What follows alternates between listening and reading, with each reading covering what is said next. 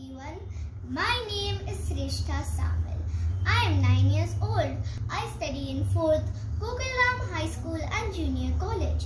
Today I am going to say a story from Ramayana about Hanuman's childhood. Hanuman was the greatest disciple of Lord Rama. Vali, king of Kishkindha, had a feudal lord named Kesari. Kesari was married to Anjana. Hanuman was the son of Anjana and Kesari. He was very mischievous in his childhood. One morning, he was so hungry, he took off to eat the sun, thinking it to be a fruit. He put the sun inside his mouth. Seeing this, Indra was furious and attacked the little Hanuman with his weapon, which hit him against the chin.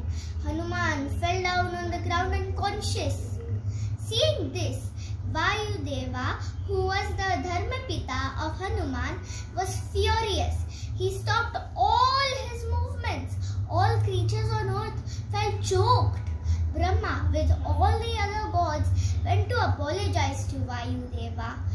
Later on, Vayudeva resumed his movement after little Hanuman was revived. All the gods blessed that Hanuman would be invincible against all. As the child's chin was broken, he came to be known